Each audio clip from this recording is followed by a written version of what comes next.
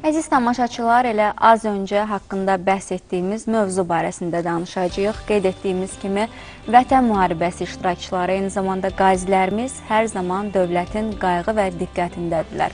Elə bu işdə əsas rolu Əmək və Əhalinin Sosial Müdafiəsi Nazirliyi oynayır ki, onlar da hər zaman ə, e, qazilərimizə, vətən müharibəsi iştirakçılarına dəstəkdirlər, onlara öz ə, e, qayğılarını göstərirlər. Lakin e, dünən baş verən xoşa gəlməz e, hadisədən danışdıq. Əmək və Əhalinin Sosial Müdafiəsi Nazirliyinin şöbə müdiri Fazil Talıbov bizim qonağımızdır. O daha ətraflı məlumat verəcək bu haqda. Xoş gəlmisiniz Fazil müəllim. Sabahınız xeyir. Çox həssas bir mövzudan bəhs eləyəcəyik. İndi yəqin bizi izləyən tamaşaçılar var. O tamaşaçılar arasında qazilər də var və yaxud müharibə veteranları var. Ə, və elə bəlkə də sözü gedən bu xoşa gəlməz hadisənə e, iştirak etmiş insanların doğmaları, yaxınları var.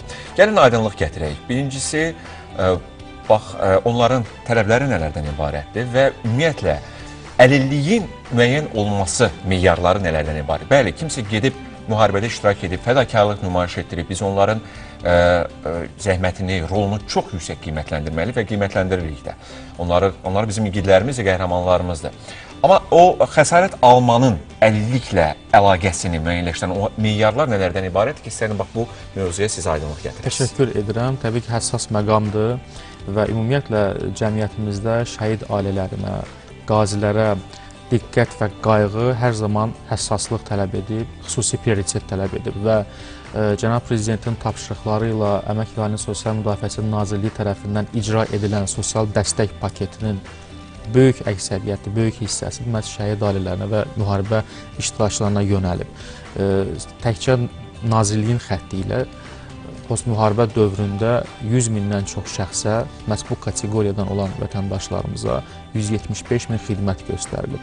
Təkcə 93 min e, sosial ödəniş məhz şəhid ailələrinin üzvlərinə, şəhid ailə üzvlərinə və müharibə iştirakçılarına verilib. Müharibədə iştirak edən bütün qazilərimiz müharibə veteranı statusu ilə ə, təmin edilib. Onlara prezident təqaüdü təyin edilib. Ə, rəqəmlərə diqqət yetirsək, təkcə post müharibə dövründə 3500 mənzil məhz bu kateqoriyadan olan insanlara təqdim edilib. Ümumilikdə 12500 mənzil şəhid ailələrinə və müharibə ailələrinə təqdim edilib. 7400 avtomobil qazilərimizə təqdim edilib. Bunun ə, son 3 ili 3 ilində 1450 avtomobil e, təqdim edilir. Gördüyümüz kimi həm reabilitasiya xidmətlərlə təminat. 44 günlük müharibəsinə sonraki 2-ci Qarabağ müharibəsində Bəli, 44 günlük bizim zəfərimizlə nəticələnən vətən müharibəsi iştirakçılarına hər tərəfli dəstək Dəstək. tədbirləri Azmə, biz həmişə deyirik şəhid ailələri və qazilər, amma müharibə veteranları da var, iştirakçıları var Bəli. ki, bax Onlara da əminəm ki, müəyyən bir dəstək olunur. Bu, ə, e, bu e, kateqoriyaları fərqləndirmək lazımdır. Hı -hı. Müharibədə iştirak edən vətəndaşlarımızdan təxminən 10 minə e, qədəri xırda, orta və deməli ağır yaralı kimi qeydiyyata düşmüşdür və onların müalicəsi, reabilitasiyası, tibb xidmətləri əhatə olunması dövlət kifayət qədər resurslar deməli ayırmışdır. Hətta Yaşad fondu tərəfindən siz bilirsiniz ki, ə, ağır yaralanmış və orta orta dərəcədə yaralanmış qazilərimizin xarici ölkələrdə müalicəsi, əməliyyatları təmin edilmişdir. Əmək və Sosial Müdafiəsi Nazirliyinin reabilitasiya müəssisələrində onların reabilitasiya kursu keçmələri təmin edilmişdir. Amma bu yaralıların sırf müharibə əlili statusu kimi təsdiq edilməsi, bu isə qanunvericiliyin tələbi ilə bağlıdır. Hər xəstəlik, hər ə, e, yara, belə deyək, hər çapıq ə, e, əlillik statusunun verilməsinin nəticələnə bilməz. Bu dünyanın hər yerində belədir. Müharibə əlilinin ə, e, əlillik ümumiyyətlə əlilliyin fəlsəfəsi sosial məfhumdur və əmək qabiliyyətinin zəifləməsi ilə nəticələndikdə orqanizm onda artıq əlillik ə, statusu təqdim edilir və bu bir daha deyirik qanunvericiliklə ə, təmin edilir. Ə, Əmək və Sosial Müdafiəsi Nazirliyi də qanunvericinin tələblərini icra etməklə məşğuldur. Vətən müharibəsində iştirak etmiş, yaralanmış qazilərimizin 3000-ə artıq müharibə əlili statusu verilib. Yəni onlar dövlətin sosial ödənişlərlə təmin ediliblər. Və əlilliyin qiymətləndirilməsi prosesi təkcə nazirliklə, nazirliyin fəaliyyəti ilə bağlı deyil. Bir neçə qurum bu prosesdə iştirak edir. Burada Müdafiə Nazirliyinin hərbi həkim komissiyasının rəyi, şəhadətnaməsi həmin qaziyə münasibətdə həmin qazinin ə, xəstəliyinin, yarasının, baş vermiş hadisənin ölkəmizin ərazi bütövlüyü uğrunda gedən döyüşlərdə baş verməsini təsdiq edən sənədin verilməsi ilə birinci addım başlayır. Bundan sonra qeydiyyatda olduğu, vətəndaşın qeydiyyatda olduğu xəstəxanada həkim rəyləri, müayinə, müalicə sənədləri toplanır və elektron şəkildə artıq üçüncü instansiya olaraq Nazirliyin aidiyyatı qurumuna ə, bu sənədlər təqdim Siz edilir. həmin sənədlərə əsasən artıq müvafiq rəy Bəli, verirsiniz. biz həmin sənədlərə əsasən həmçinin əyani müayinə təşkil edərək ə, qazilərimizin, yaralı qazilərimizin ə, fiziki durumlarının, diaqnozunun, sağlamlıqlarının əlillik təyininə əsas verib vermədiyini müəyyən edirik və dediyim kimi artıq post müharibə dövründə müharibədən sonra məhz vətən müharibəsi qazilərimizin 3000-inə ə, müharibə əlili statusu verilib. Onlar prezident təqaüdü, pensiya, müavinətlə təmin ediliblər. Keçsək konkret dünənki hadisəyə, hansı ki bu xoşa gəlməz hadisə ki, sosial mediada da geniş yayılmışdı və ekranlarda da, televiziya ekranlarında nümayiş olundu. Tələblər nələrdən ibarət idi həmin veteranların və bu hadisənin kökündə nələr dayanırdı və bu problemin həlli yönümündə, istiqamətində konkret hansı tədbirlər görürsünüz? Hal-hazırda biz ekrandan da izləyirik dünənki görüntüləri Nazirliyin qarşısında Dünənki baş vermiş hadisə, hadisə. bəli, xoşa gəlməz hadisədir. Cəmiyyət tərəfindən də bir mənalı qarşılanmadı. Burada ə, belə deyək, nazirliyə daxil olmaq üçün ümumi qəbul prosedurlarının pozulması kimi ə, bu qiymətləndirildi.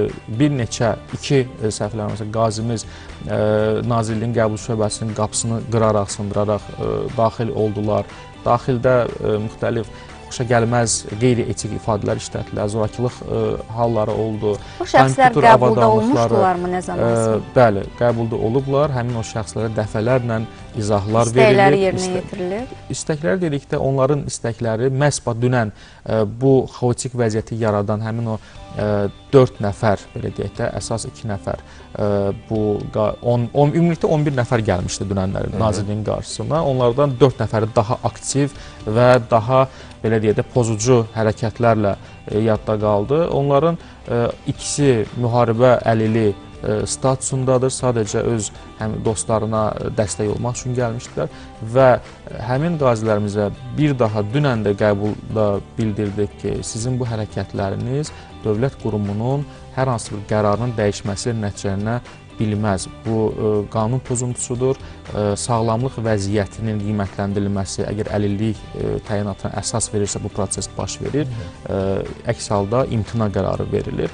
Onlar onların bir çoxuna və sağlamlıq vəziyyətlərinin əlillik təyinatına əsas vermədiyinə görə imtina qərarı verilmişdir. Təbii bu imtina qərarından onlar ə, narazılıq ə, edirlər Qəbul və istəmirlər. bunu da dəfələrlə bu iddialarda ə, olmalarının əsas səbəbi də müharibə əlillərinə yönələn imtiyaz və güzəştlərdən istifadə etmək istəkləridir. Azmam, nə etməliyik ki, e, həmin insanlar hardasa həm bu həqiqəti dərk eləsinlər, həm də onlar razı ola bilsinlər. Yəni nə etməliyik ki, bir ortaq məxrəcə gəlinsin? Ümumilikdə ə, bizim ə, vəzifə borcumuz həmin insanların bütün hallarda qəbul edib, dinlə, dinləyib, onların sorğularını cavablandırmaqdır.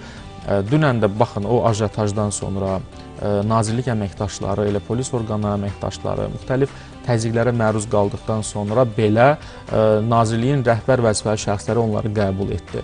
Yəni bunu etməsəydi də qəbul ediləcəkdi. Yəni belə başa düşülməsin ki, bu hadisədən sonra qəbul. Xeyr, dəfələrlə gəlib həmin o ə, deməli qrupun ə, öz rəhbəri kimi ə, təqdim edən ə, qazini ə, nazir müavini vaxtilə qəbul edib, idarə sədrləri qəbul edib, şöbə müdirləri qəbul. Sadəcə ə, onlar ə, dərk etməlidirlər ki, müharibə əlili ə, sırf buna ə, hüququ çatan vətəndaşa veriləcək. Bəli. Bu qanunvericiliklə tənzimlənir. Hər hansı bir təhdid edici hərəkətlə, səs-küylə, xaosla bunu əldə etmək ə, mümkün deyil.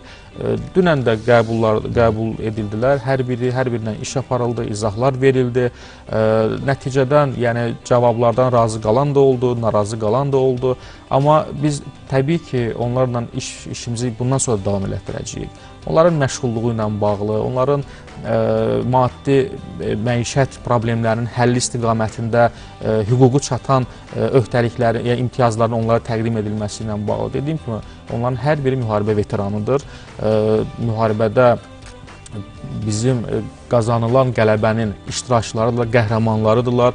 Onların Əlbəttə. xidmətləri böyükdür, danılmazdır. Cəmiyyət onlara böyük rəğbət və ə, hörmət bəsləyir. Dövlət qurumlarının qapıları hər zaman onların üzünə açıqdır. Bu vəziyyət sadəcə ə, xoşa gəlməz və emosional davranma kimi biz qiymətləndir. Hər halda hüquqi qiymət də veriləcək bu ə, məsələyə.